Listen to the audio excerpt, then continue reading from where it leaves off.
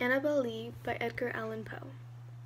It was many and many a year ago, in a kingdom by the sea, that a maiden there lived whom you may know by the name of Annabel Lee. And this maiden she lived with no other thought than to love and be loved by me.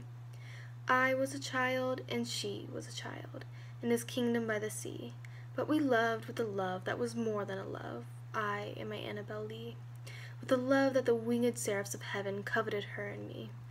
And this was the reason that, long ago, in this kingdom by the sea, a wind blew out of a cloud, chilling my beautiful Annabel Lee, so that her high-born kinsman came and bore her away from me, to shut her up in a sepulchre in this kingdom by the sea.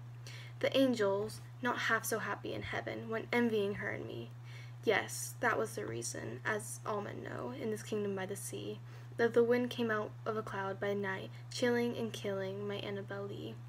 But our love, it was stronger by far than the love of those who were older than we, and many far wiser than we, and neither the angels in heaven above, nor the demons down under the sea, can ever dissever my soul from the soul of the beautiful Annabel Lee. For the moon never beams without bringing me dreams of the beautiful Annabel Lee, and the stars never rise but I feel the bright eyes of the beautiful Annabel Lee.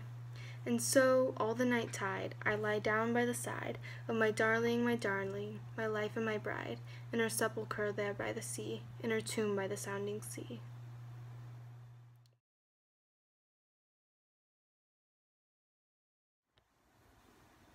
Edgar Allan Poe's life, though meaningful and contributing towards literary history, was tragic and upsetting. When he was very young, his parents died, causing him to live with a new family. This was the inspiration for him to start writing. Edgar Allan Poe wrote many poems, short stories, and critical theories.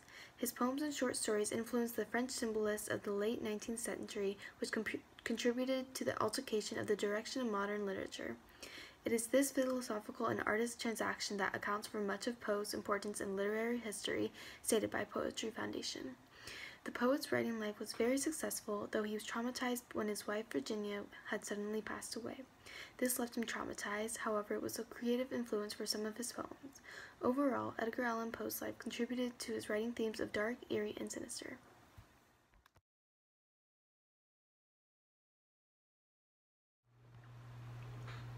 The poem Annabel Lee is about the grief of the narrator when his love was taken away from him.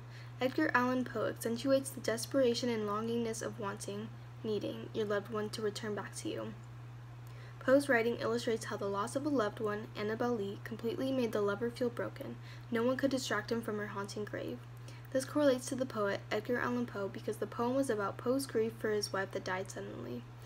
Edgar explains in the poem how the angels were jealous of the love they shared, so they deci decided to take away Annabel, thinking that the love would vanish. In the poem, one of the lines are, For the moon never beams without bringing me dreams of the beautiful Annabel Lee.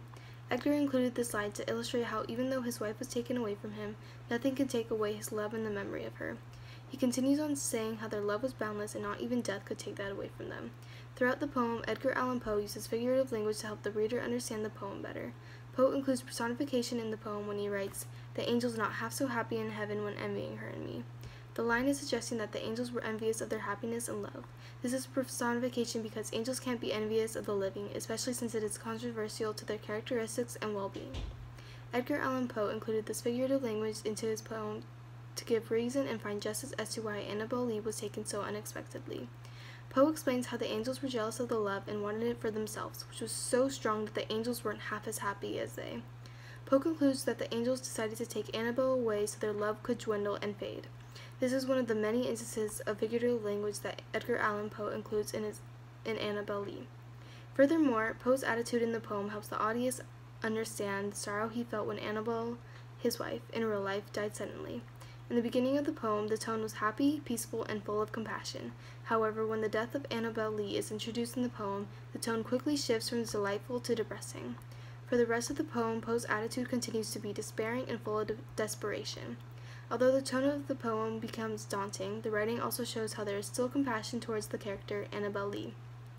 The speaker and poet's attitude toward the poem are the same. Edgar Allan Poe wrote the poem about his wife who died suddenly and was completely devastated about it. Poe felt and wrote how compassionate he was towards his beloved even after her death. So the constant attitude throughout the poem was the compassion for his, his loved one. Poe's overall theme in the poem, Annabel Lee, is that the love will prevail even through death. The poet is trying to tell you that if your love is strong enough, nothing can stop you, not even death can stop the immense amount of love you share.